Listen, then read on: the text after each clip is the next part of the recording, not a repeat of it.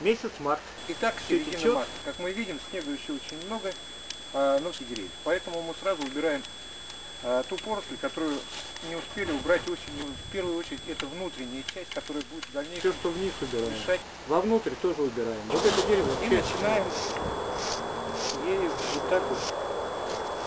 Грибок в начале весны очищаем и старую на дереве. Не будет молодой. Так что берите где-то, пока еще есть снег, то есть это абсолютно не мешает. Весна. Все лишнее можно апрель самое время э, приступить к побелке деревьев. Одна именно в это время. Пока э, всевозможные жучки.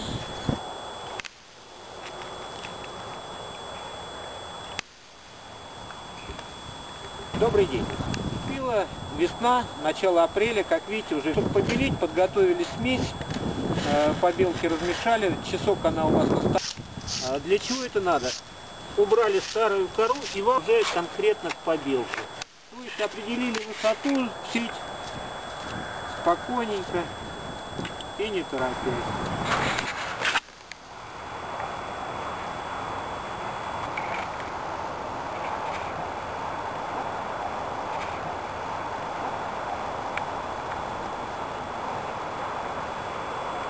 Наступило время сажать